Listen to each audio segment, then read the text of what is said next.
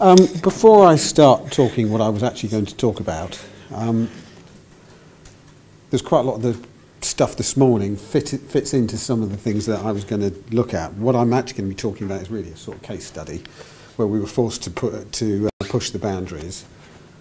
But there's some of the things I jotted down which I think are key to all, all the things. So I think it was, I don't know who said it, like, um, do the self-set rules work for us? Um, and should, should the rules be broken? Well, the case I'm, um, first of all, I think the rules generally work for us, but they certainly need to be improved. I'll go back to your point about the code of conduct. There's all sorts of things that do need um, uh, modernising, should we say. And the example I'm going to use we both broke the rules and also strangely kept to them at the same time. We uh, broke the rules in the sense we didn't really think about the rules whilst we were doing the work because we didn't have any choice. But on reflection, we probably actually didn't break the rules. Then the other one is comes back to your, your thing that you, you and I have spoken about many times, Rob, which is failure. This project, or this element of this project, was on the point of failure all the way through, and it's only through a lot of hard work from an awful lot of people that it wasn't a complete and utter disaster for everybody concerned.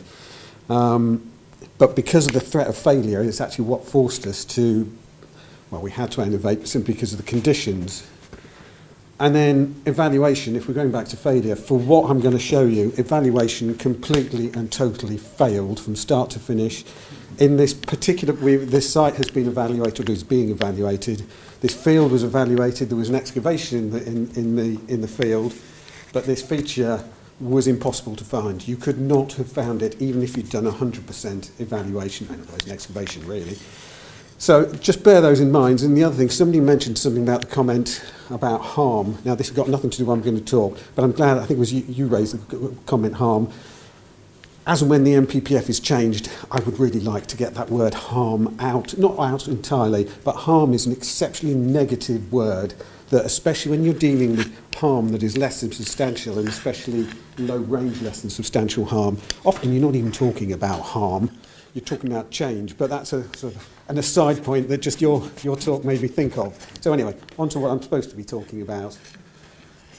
Sherford New Town, uh, it's just outside of Plymouth, uh, it's about four or five miles on the outside, as it says here, five and a half thousand dwellings, Um, it's already under construction. Phase one, which is this area over here, is, is built, and there's a community of about 2,000 people living in it. There's a school and all sorts of stuff. Uh, It's a major source of employment. It's also doing uh, innovative training for construction um, stuff as well. Um, our three clients uh, like to think this is an exemplar in terms of construction. I wasn't involved at the beginning. Um, I was brought in about three, four years ago um, when some of the works have already been done. There was no evaluation pre being granted consent, of which I can't tell you why because I wasn't involved, apart from there was, I assume, a lot, of politics to make sure that this, was, this scheme was delivered. So a little bit of a background. This was done before I joined. As you can see, an exceptionally extensive geophysical survey. This is the interpretive plot done by the now departed Alistair Bartlett. Um, as you can see, there's all the red is archaeology, definite archaeology, should I say, and we've got large patches where there appears to be, inverted commas, nothing. Um, there's been, this is where we're sort of at at the moment. This was where we were at about a year and a half ago. All the dark blue is uh, mitigation works that have been done by Wessex Archaeology prior to my involvement. The light blue was what was being worked on at the time this was written, which is now about two years ago. and all the orange is where we're going to do more evaluation. The pink is where myself and Steve Reed, who's the county uh, planning archaeologist we were dealing with, decided we want to go straight to excavation with no evaluation at all because the geophysics was so clear. To give you context, we have some fantastic prehistoric archaeology. Wessex did a great job, lots of public outreach. Um, if you go on their website, uh, and search Sherford, there's, some, there's, there's a great website for all the work that they did. There was a lot of public involvement. Um, and we expected this kind of thing to carry on. Um, we currently have AC Archaeology working with us on site. Um, who are doing lots of evaluation, lots of excavations as, as we move forward. But I'm not really talking about normal archaeology. Um, about June time last year, I got a phone call from site, from the project manager, from the development project manager, saying, Rob, we've uh, been digging quite a big hole and uh, we found a bone. Can you have a look at it? I'm not sure what it is. And he didn't seem that bothered. And to be frankly honest, I didn't really think about it much at the time. They sent me this photograph, which looks like what it is. It's a, it's a bone in a bag. I thought it was probably a cow because it's about the right size. Finding a cow bone in a hole in, in, in countryside isn't exactly unusual. And I took it seriously, but not really that seriously, I'll be honest with you all. Um, fortunately for us, AC Archaeology have two qualified and experienced cave archaeologists, which was uh, you know, a real boon for us. So when, when I, I got AC to go and pick the bone up, uh, and uh, their, their faunal people looked at it, and about two weeks later they came back saying, this is actually uh, an auroch bone. Um, you know, it's, it's pretty intriguing. So I went back to the client saying, you know, we've got something pretty unusual here. And when you say a big hole, what, what are you talking about? It turns out it was that. um, that is, that's 10 metres from there to there. Um, what had happened was the, the areas being, the ground was being reduced for a road and the infrastructure for the houses and so they had to cut down into the limestone. At the surface, this feature here, that's the top of the cave, that was solid rock, apart from a small bit. And as they were digging down, part of the, part of the roof collapsed and they were left with a hole, which of course they had to go down because there's a road, so it's a soft spot. So the geoengineers started digging down. At this point, I had no idea any of this was being done because it was just an engineering thing. Nobody had thought there could be archaeology down there. It didn't even occur to anybody. And then you see this little thing in here. That is a fissure cave, of which when the geoengineers went down, um, there was bones just falling out down this scree down here, teeth. Then when they went exploring, we got a wolf skull. Um, the guy on the right, um, you can see there's a big bone down on the bottom there. And then at the bottom here, we have a fractured mammoth tusk in situ. Uh, this is 10 metres underground and going back about 20 metres under the ground as well. So it's not just at the bottom of this hole, it's actually inside there. So at this point, we kind of thought, I'll be honest, yeah, shit, we've got a serious problem here. because it was in, just in, in the middle of construction. The, con the construction zone is completely around here, and you'll see some photographs that the, the, the foundations for the houses that were going to be there was already in. And had they built the houses, the front doors would have been there. so, you know, we were faced with a problem. How do we deal with something? And I'll be frankly honest, I've never done cave archaeology before. And initially, I was a little bit baffled about what the hell to do. Uh, AC Archaeology uh, and I got one of their teams to go down into, into the cave. Uh, we were very lucky that uh, one of the guys is a very experienced caver and also a cave archaeology specialist. Uh, I never thought in my career I would ever need somebody like that. Um, but you can see the scale of this thing. This is Steve Reed standing here, for those of you who may know him. So you can see the scale. These are the foundations of the houses, literally on the, on the surface. And here's a whole load of us standing there looking down the hole thinking, what the hell do we do with all this? Um, so it presented all sorts of challenges. We had nationally, borderline, possibly internationally important remains. Certainly if we'd got human activity, it would definitely be internationally important. Major construction problem uh, delays, major sales, because this, this is not just at the beginning this already in parts of this site already had houses being, going up and being sold. Um, the five houses that are above the cave are all affordable units, um, obviously, uh, which we've had to lose, obviously massive health and safety challenges, to say the least. Um, the sheer practicality of how do we deal with something underground, literally underground, rather than just in a deep hole We've come across, which I'll come back onto, insurance prob um, problems, uh, adverse publicity or the risk of adverse publicity, and very real commercial sensitivities by the client worried about the implications of what bloody great big holes next to houses means in terms of sales, which is a very legitimate concern they had. So we had to keep this quiet. from the outside world for months and months on end. Um, the key to the key to all this, I won't bother reading it all out, is first of all it was partnership between all of us, between myself, Steve Reed, uh, for the county council, Sylvia Warman, who's the uh, Southwest uh, HE um, science advisor. We, with input from Historic England, had to get an expert team together, which isn't an, a normal fieldwork team. We had three professors of quaternary science, um, which I've never had to deal with before. It's very fascinating in itself, and I can see I've spelt Winchester wrong as well, so apologies. um, experienced cave archaeologists and also non-cave archaeologists at AC, um, but also there's all the other stuff. I mean, you saw the size of that hole, so we had to ha we had the engineers, we had obviously the health and safety people, vertical access specialist, cave rescue teams, paramedics. Um, plus also there's the construction going on all around us with huge, great, you know, 50, 60 ton Moxie dumpers driving past, uh, all sorts of stuff. Um, and then of course there's the client. You know, this is a dis total disaster for the client. Finding archaeology during construction, unexpected that is, is always a disaster. But this had, of course, extra, extra problems. Um, cost, the whole thing has probably cost at least three quarters of a million pounds if you take the cost of the archaeology and the delays, possibly a million. The archaeology alone, by the time you finish, is probably 150 grand. Um, but the key was to whilst trying to keep everything quiet, was with get this team together, get a sensible sampling program because we couldn't be down there forever.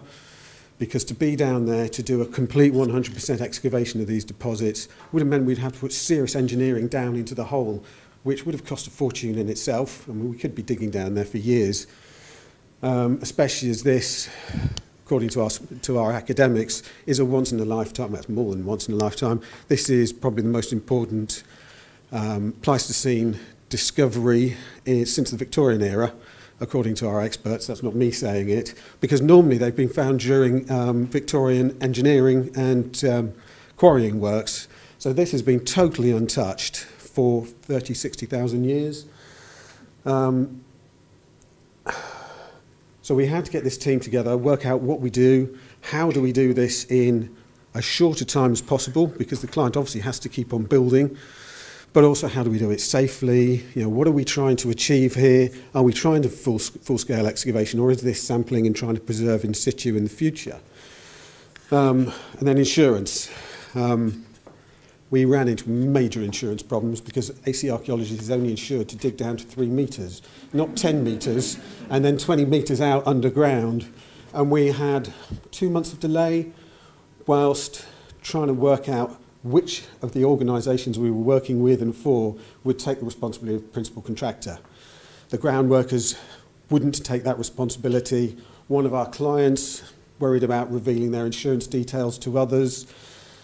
Uh, and in the end, Taylor Wimpey stood in as the principal contractor. But that put two month delay, at which time I had lots of people shouting at me, saying, what the bloody hell's going on? Can't we just get this thing sorted? Why can't you just get AC to add an extra premium onto their insurances? In which case, we're actually dealing with Aviva and all these companies who are just saying, no, until we get all this stuff, nobody's doing anything. So, fortunately, uh, one of our board is a solicitor, So we, we, had, we had one of our board members advising on insurance back to to Taylor Wimpey and Vistry and so on. So we were very lucky to have a lawyer on our, on our books. Um, this is the sort of thing we were dealing with. Um, we have uh, woolly rhino, woolly rhinoceros, um, hyena, uh, horse. We had a full wolf skeleton, um, and various other creatures. They, they, they probably died somewhere on the surface and got washed in 30 to 60,000 years ago. There's probably a small hole in the surface. Uh, the wolf probably went in alive because it was the only full skeleton. Probably went in trying to find some food because he'd smelled some, uh, some dead creatures down there and never managed to get out again. Um, so we had a team of these team of four down there for six weeks. Uh, I don't know how they did it. I couldn't do it. I never actually went into the cave once because our insurance forbade me to go into it anyway. Um, But whilst we were doing this work, I've never had to deal with a, a, a change.org petition against something that I'm doing. We had got to the end of the works. Myself, Steve, and Sylvia had had a meeting with everybody on site on the Wednesday that we'd signed everything off. We had a huge sigh of relief that we'd been able to get this done and delivered sort of on time. Uh, I won't say to budget because there was no set budget. It really is spend as much money as you need to spend. And then this, uh, this petition came out, which has now has only got 8,000 signatures, but it went from about two to about seven and a half in about two days.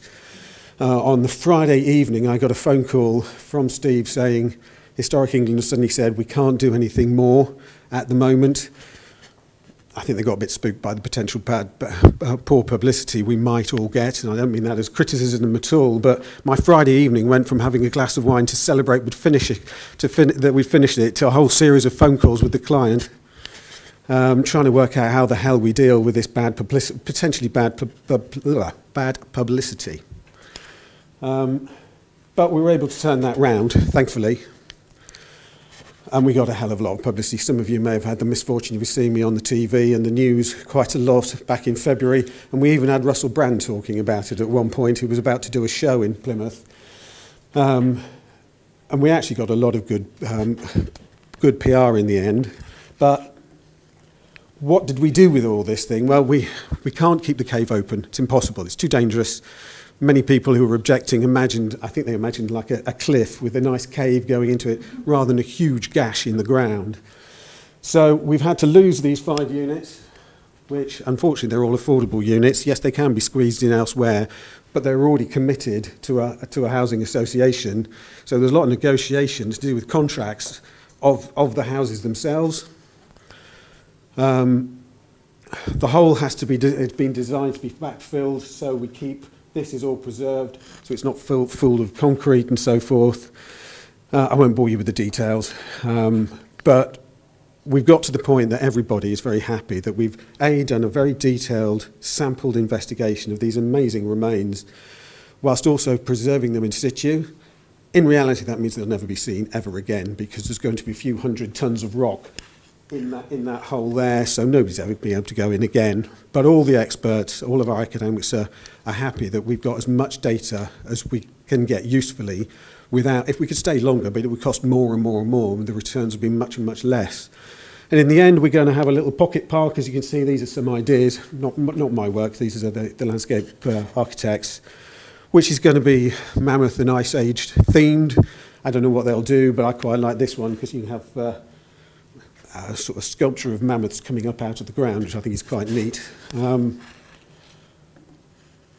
but when I suggested this as a talk to Rob, he said, well, can you talk about standards and guidance? You know, did they apply?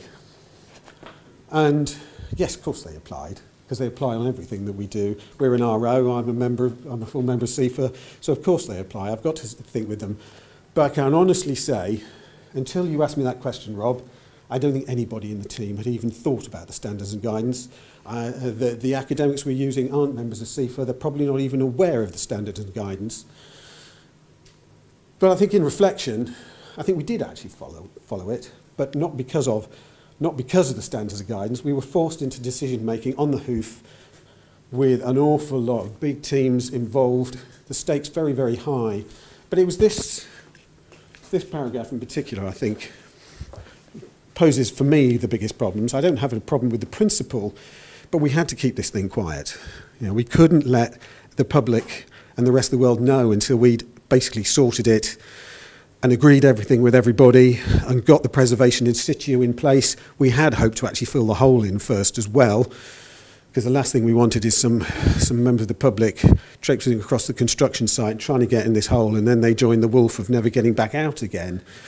So for me, we had to break that rule, absolutely, um, because essentially because of the next thing, the, the, the health and safety. So, on reflection, when I went back looking at the standards and guidance, yeah, they worked well, but I think that was simply because we just did what was right, rather than actually getting too tied up in, in the words. But it has made me reflect. There's quite a lot of the standards and guidance is, is reflects a world, I think you said this morning, Peter, of this, uh, the Code of Conduct back in the 80s. Well, the standard guidance is a bit more modern now, but it still is actually reflecting a world that I think has changed, nothing to do with the hole that we had. But, but anyway, so anyway, that's as far as I want to go. But the last thing, this was the team who was underground for six weeks. I wouldn't wanted to do it. The, the girl on the, the woman, sorry, on the right, she'd only qualified about a year before. How she's going to uh, top that in her career, I really don't know. She volunteered to go. She happened to be the smallest person that AC Archaeology employs, but she, did, she volunteered to because she wanted to, rather than that she was the smallest.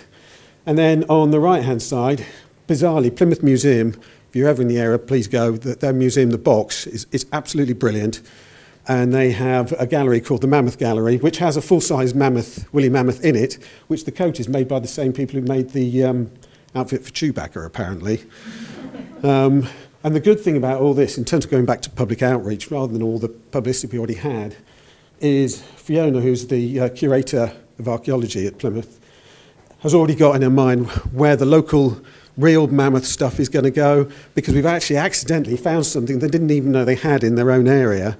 So I spent a whole day being interviewed by the various newspapers and um, TV crews in there, and um, you know, the locals love this thing anyway. But now we've got this story to go with. The amount of excitement of people came to the museum the day that we were doing the filming, because it was the day after we'd done the press release. Apparently, the footfall through the museum was 500% more than than since before uh, COVID came along. So uh, it was, on one level, a total disaster. It's cost the client a fortune, massive delays, huge amounts of stress. But through lateral thinking, we've actually been able to deliver what I think is a, you know, an absolutely top-notch piece of work and the top, sort of archaeology, you know, this time last year, I had no idea about Pleistocene archaeology at all. So anyway, thank you very much.